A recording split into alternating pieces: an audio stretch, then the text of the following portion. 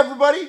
A good buddy of mine, his name's Kurt Nielsen, gave me these two Husqvarna 65 chainsaws. Neither one of them runs, haven't ran for years and years.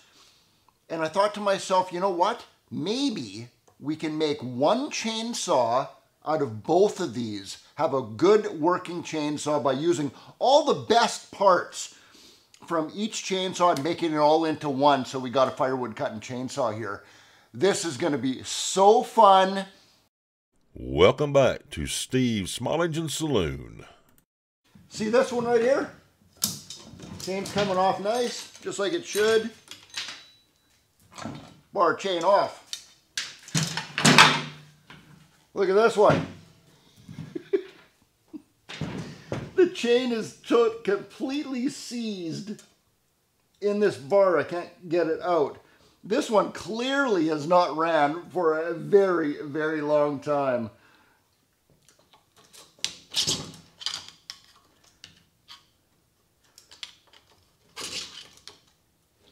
Holy crap. There we go. Woo! All right. I don't think I'm going to be using that chain. Okay, before we just go crazy here and start pulling stuff apart, we have to do some preliminary checks. We're talking spark compression, that kind of stuff, just so we can see what we have, where we're going, where are we going to start, which chainsaw are we going to start with. Um, I want to pull both these covers off, the, the cylinder covers and the carburetor covers, and, um, and then we'll go from there. Give me another sec. Okay, carburetor covers are off now, and then I realize on these old chainsaws, they kind of are different than the new style ones. Just to get the cylinder cover off the top right here, um, you have to take the side cover off that holds the bar and chain on, which we've already done, because there's this little pin right there, if you can see that. The side cover gets a little pin in there that holds this top cover on. Also on that side, there's a little pin on the starter that also helps hold that on, as, and also the one in the top. So we have to take the starters off on these ones just to get that cylinder cover off. So uh, uh, give me another second, I'll pull the starters off. All right, both starters are off. That one feels pretty good. That one feels pretty good too. So I want to check the compression on both of these things with my compression tester, but that has the starter on there and you put that on the compression tester on top and you have to pull it over really fast. I don't mean to sound like a wussy here, everybody, but uh, I fell on the ice. I, my feet slipped right out from underneath of me. I landed flat on my back, wham. I am still nursing some bruised ribs here or broken ribs, I don't know.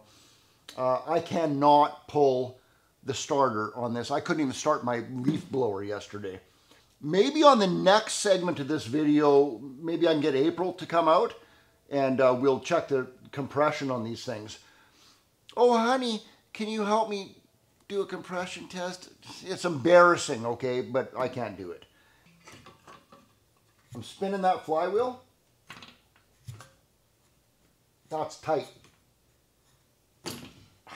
See, that takes a, that's tight. That has some compression. Now we take this one right here and we do the same thing. And look at this. That clearly does not have as much compression as that one does. I know a lot of you are saying, pull the muffler off, Steve. Let's look at the pistons uh, through the exhaust port. Yes, we are definitely going to do that. I'm actually shocked that all four of these bolts coming out of the muffler are not seized. That makes me uh, very happy. All right, there she comes. That muffler's off. I'm gonna keep that that side. And I think, I, yep, that one's loose. Uh, nope, There we go. And that one's loose. Now we're going to look through these exhaust ports and see what kind of shape these pistons are in. Flashlight. This was the one that had the good compression on it, or the better compression at least. And uh, look at that. The, look at that. That is not bad for a 60 year old chainsaw. Did I tell you guys this yet? These things are almost 60 years old. Yes, you heard that correctly. 60 years old. You know, I am amazed. Hey, this one only has one ring on it. See the difference there? That has one ring on it. This one has two piston rings on it. That's interesting. So they're both in great shape. This one has better compression, has two rings on it. Maybe that's the reason. I'm going to just mark these before I forget. I'm going to mark this one right on top of the cylinder, um, number one. This one's number two. So we don't forget which is which. So now, now that we have these things ripped down to this far, I realize now this is going to have to be a series. You know, episode one, part one, part two, that kind of thing. Because I'm not going to make everybody out there watch a four hour long video with getting this done beginning to end. We're going to do a series on this. So for today, we're going to do one more check. We're going to check the spark, and then we're going to really know what's going on here. Okay, it's grounded right there. Watch this. But it's beautiful. That's beautiful. Can't get better than that. You know what? I'm not even going to test that one because I don't care if that one has spark or not. This is the one we're starting with. It has wicked good spark and uh, that's what we're going to roll with today. So this one has great compression. I know I haven't tested it. On the next episode, we're going to test that hopefully uh, so we can see exactly what it is because I'm curious. I know you're curious to see what the actual compression is. Is it like 90 or is it 120? I want to know too. This one has spark, it has good compression, it has two rings on the piston. Everything looks good on this.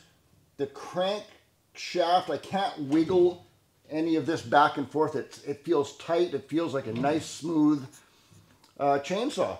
I cannot wait to get one of these old chainsaws working so we, I can show you it cutting wood. This is going to be awesome. Uh, make sure that you're subscribed to my channel. Make sure that you have that bell notification put all the way onto the all so you'll get a notification and you can uh, you won't miss episode number two coming up where we're going to get into this more carburetor work um, all that kind of stuff till the next time ladies and gentlemen steve out